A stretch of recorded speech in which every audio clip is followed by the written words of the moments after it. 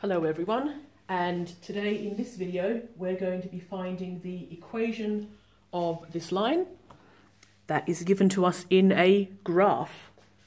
So first thing we're going to do is to use our trick to find the equation of a line we need to fill in these two boxes. We need to know the gradient, we need to know one of the points. If you haven't seen my previous video with details on how to do this. I will put a link in the description box. Please watch that first. So we want to find the gradient. To get the gradient, we need two points. Uh, there's a separate video for that, so I'll just go through it quickly on this one.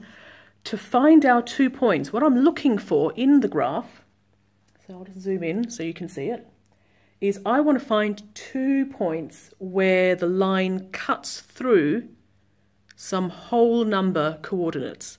So I'm looking for where it cuts through the corners of the grid. So not halfway you're sort of in between. So the first one I can see clearly, I reckon, is there. Right? So this coordinate is 0, negative 4. Now let's keep going. And I'm going to look for another point where it cuts through the corners of the grid. Oh, that's all a bit wonky. Oh, there's one right there. So that is 6, 1.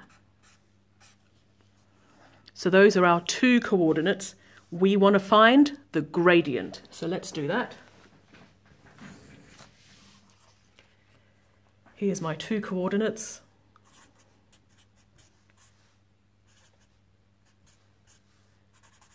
So I'll just write, write it out quickly.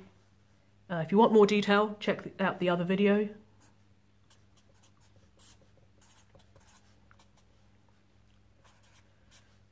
So here our gradient is 5 over 6, 5 sixths. I'm going to write it in my box. That's the gradient. Next, we need the coordinates of one of the points. Now, we've got two to choose from, doesn't actually matter which one you pick. So I'm just going to pick the first one. There it is. So let's go with that. But I'll just say again, the point that you choose here, it can be literally any point as long as it is on the actual line. Any of these points will do, but I'm going to choose this one. So now let's do the working out. Here we go.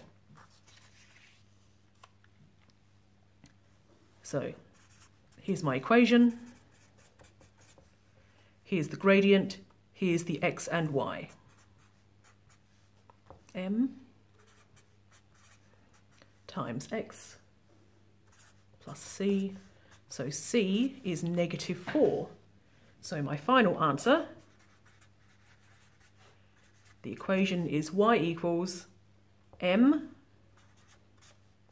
x plus C.